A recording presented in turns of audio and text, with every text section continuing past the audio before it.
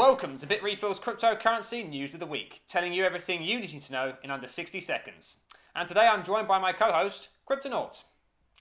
So firstly, after nearly two years, Tether has settled with the New York Attorney General and is not admitting any wrongdoing, leading the way for USDT to grow further. And both Square and MicroStrategy are continuing to buy Bitcoin, despite some dips this week. Two New York City bars have gone up for sale, with the asking price being 25 Bitcoin or at least 800 Ether instead of US dollars. Will the next house you buy be paid for with Bitcoin?